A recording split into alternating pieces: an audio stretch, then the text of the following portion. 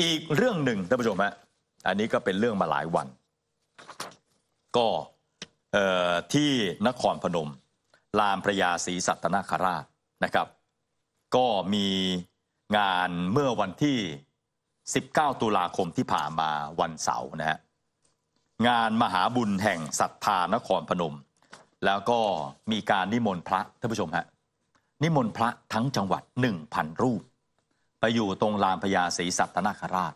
รอรับบาตรจากผู้ที่จะใส่บาตรประมาณ 300 คนนะฮะและที่เป็นข่าวลงในโซเชียลก็คือมีผู้ใช้ Facebook คุณกิติชัย โพสต์ นิมนต์พระมาตากแดดจนหลวงพ่อเนี่ยเปียกหมดนะฮะแล้วก็ตัวเจ้าภาพเนี่ยนั่งอยู่ในร่มอืมนะอืมพระก็คนเหมือนกัน ร้อนเป็นเหมือนกัน บางอำเภอมาตั้งแต่ตีสามนิมนต์พระมาตั้งแต่ตีสามนะฮะ แล้วก็มานั่งจนหกโมงนะเจ็ดโมงแปดโมงนี่ฮะท่านผู้ชมฮะที่ลานพญาศรีสัตนคราช ปรากฏว่ามีคนเข้าไปคอมเมนต์ในลักษณะทัวร์ลงกันเพียบเลย ครับ ว่าเจ้าภาพจัดงานแบบนี้ได้ยังไง อืม นิมนต์พระมานั่งตากแดดนะฮะรอนานมาก แล้วแดดตอนตอนเจ็ดแปดโมงนี่มันร้อนนะ ใช่ บริเวณนั้นเนี่ย ใช่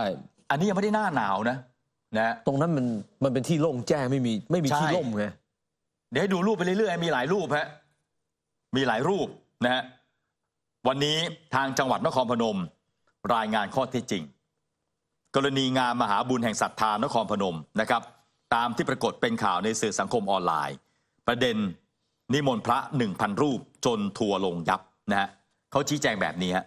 จังหวัดนครพนมได้จัดทำพิธีทำตักบาตรพระสงฆ์ สามเณร1,000รูป ในงานมหาบุญแห่งศรัทธานครพนม ณลานพญาศรีสัตตนาคราชนะครับ โดยการท่องเที่ยวแห่งประเทศไทย ว่าจ้างบริษัทออ g a ไนเซอร์ เป็นผู้จัดงาน มหาบุญแห่งศรัทธานครพนม ตามโครงการส่งเสริมการท่องเที่ยวสายหมู่ของจังหวัดนครพนม เมืองแห่งศรัทธาพญานาค โดยมีกิจกรรมตักบาตรพระสงฆ์1,000 รูป เพื่อเป็นกิจกรรมที่ต่อเนื่องจากงานประเพณีไหลเรือไฟ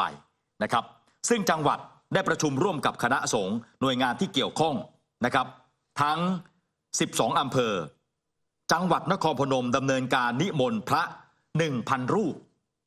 ให้ดูรูปที่นั่งกันอะหลายๆมุมอืมนี่ อันนี้ก็เห็นชัด อืมนะฮะนิมนต์พระมา 1,000 รูปนะฮะจัดเจ้าหน้าที่รับบาตร300 คน เชิญชวนประชาชนเข้าร่วมกิจกรรม รวมทั้งดูแลความสะอาดของสถานที่ ซึ่งจังหวัดนครพนมเน้นย้ำให้บริษัทออ g a ไนซ์นะผู้จัดงาน ดูแลอำนวยความสะดวกแก่พระสงฆ์ที่มาร่วมงาน ให้ได้รับความสะดวกสบายที่สุด และให้จัดหาเต็นท์ร่มใหญ่ พัดลมสำหรับพระสงฆ์และให้บริษัทผู้จัดงานจัดเตรียมปัจจัยถวายพระ 1,000 รูป พร้อมทั้งปัจจัยค่าน้ำมันรถและให้ตำรวจภูธรจังหวัดนครพนม เทศบาลเมืองนครพนม อำนวยความสะดวกจอดรถแก่พระสงฆ์นะแกก็ไล่มา งานพิธีได้ดำเนินการตามกำหนดเวลา และบริษัทผู้จัดงานได้ถวายบ็อกเซสอาหารว่าง แก่พระสงฆ์ทุกรูป อย่างไรก็ตาม หากมีข้อผิดพลาด ประการใดจังหวัดนครพนมขอน้อมรับ และจะนำข้อผิดพลาดไปปรับปรุงแก้ไขให้ดียิ่งขึ้นต่อไป สรุปแล้วฟังแล้ววันนี้ทางจังหวัดชี้แจงเนี่ยนะฮะไม่รู้เรื่องฮะ สรุปโดยรวมก็คือโทษ organize ใช่ไหมฮะอืมโทษออ g a ไนซ์ว่ามีออ g a ไนซ์มาจัดงาน แล้วก็ทางจังหวัดบอกแล้ว ให้ออ g a ไนซ์เนี่ยดูแลพระ1,000รูปให้ดีอืมนะฮะแค่นี้เองฮะแล้วก็บอกว่าจะต้องมีหาเต็นท์หาร่มนะเต็นท์ที่เป็นร่มเงาอะฮะแต่จริง ๆ ก็ไม่มีมหาบุญแห่งศรัทธาแล้วทำไมทำไมจังหวัดไม่ไม่ชี้แจงตรงๆ ทำไมต้องอ้อมไปอ้อมมา ไม่ชี้แจงเหมือนอย่างสสคนเนี้ยใช่ เขายอมรับเลยว่าเขาผิด ทีมงานเขาไปป่วนงานโยนบัวรับบัวอืมทำไมจังหวัดนครพนมไม่ไม่รับมาตรงอืม ๆนะฮะว่าเป็นความผิดพลาดของออ g a ไนซ์บริษัทนี้นี่นี้บอกไปเลยนะฮะอะภาพเคลื่อนไหวก็มีเห็นไหมฮะเนี่ยนะไม่มีคำที่จะบอกว่าทำไมถึงให้พระมานั่งตากแดดนั่นน่ะสิฮะ ไม่มีตรงนี้นะ คือนิมนต์พระมาทำไมหนึ่งพันรูป ทำไมจะต้องยิ่งใหญ่อะไรขนาดนั้น อืม มิหนำซ้ำวันนี้ผู้สื่อข่าวนะครับ ไปงานทอดกระถินเอ่อวัดสว่างสุวรรณาราม อยู่ที่อำเภอเมืองนครพนมนะฮะพระราชสิริวัตรหรือเจ้าคุณเพชร เจ้าคณะจังหวัด และเจ้าอาวาสวัดสว่างสุวรรณาราม ได้พูดกับญาติโยม ถึงงานมหาบุญแห่งศรัทธานะฮะท่านเจ้าคณะจังหวัดบอกแบบนี้นะฮะทางจังหวัดฟังไว้นะฮะ มีคนมานิมนต์อาตมาให้ไปร่วม รับบิณฑบาตแต่ท่านปฏิเสธฮะอืมคนจัดเนี่ยมาบอกว่านิมนต์พระมาทั้งจังหวัดเลย1,000รูปครับ แล้วก็จัดหาสถานที่ให้พระสงฆ์อยู่อย่างเหมาะสม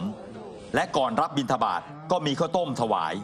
เอาเข้าจริง ๆข้าวต้มก็ไม่มี ถวายแต่ขนมกับนมกล่อง เหมือนจัดเบรกประชุม สถานที่ที่อ้างจัดรองรับไว้ก็ไม่มี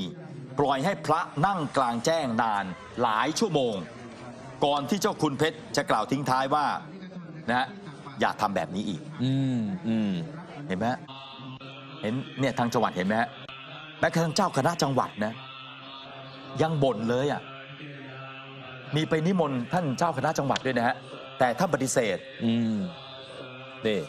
แล้วก็ไปถามจากเอ่อพระอีกรูปหนึ่งนะฮะพระประหลัดกิติชัย สุขวัฒโนนะฮะเป็นผู้ช่วยแล้วก็เลขานุการของรองเจ้าคณะจังหวัดนครพนม ซึ่งเป็นเจ้าอาวาสวัดมหาธาตุพระผู้ช่วยท่านนี้บอกว่าวันนั้นเนี่ยท่านไม่ได้ไปนะฮะท่านไม่ได้ไป แต่ว่าท่านเจ้าอาวาสไป แล้วพอเจ้าอาวาสกลับมาท่านก็สงสัยเอ๊ะโอ้โหทำไมหน้าแดงเหงื่อชุ่มเลยอะทำไมหน้าท่านแดงมาก เจ้าอาวาสก็บอกว่าก็คุยกันถึงได้รู้ว่าต้องไปนั่งตากแดดนะฮะแล้ว พระที่มาในงานวันนั้นเนี่ยมีสองนิกาย มีธรรมยุทธ์กับมหานิกาย สายธรรมยุทธ์เนี่ยจะฉันเพียงมื้อเดียวประมาณ9โมงเช้าแต่ในงานเขาก็บอกว่าก็เดี๋ยวจะมีการถวายข้าวต้มก่อน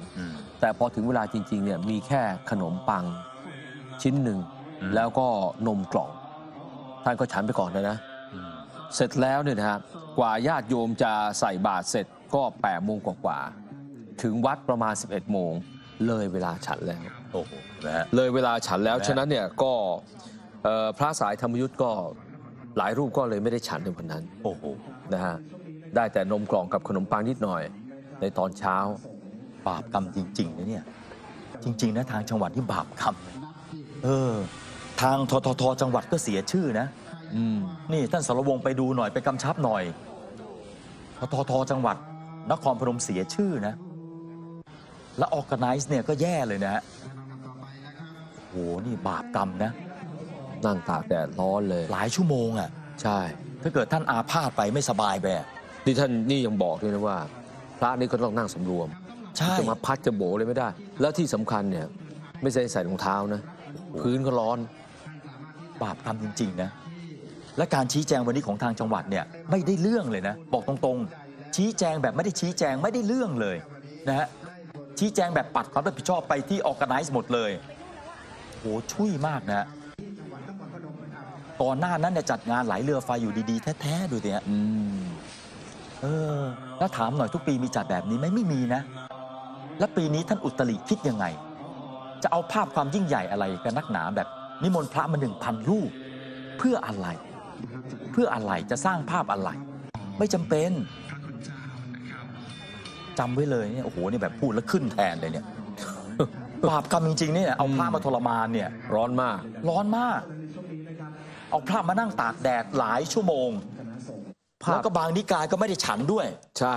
แย่มากนะ ภาพที่พระนั่งตากแดดเนี่ยส่งต่อกันมาสองสามวันแล้วนะ ใช่ กว่าจังหวัดจะชี้แจงนะ และชี้แจงได้แค่เนี้ย หายไปเนี่ย ตั้งแต่วันที่ 19 อะอืม19 ตุลาคมอะ 20 คุณก็ไม่ชี้แจง 21 ก็ยัง 22 ก็ยัง มาชี้แจงวันนี้ แล้วชี้แจงได้แค่เนี้ย โอ้โหตำหนิเลยอะอืมชุยมาก แย่มากนี่นะฮะเรื่องพระยังไม่หมด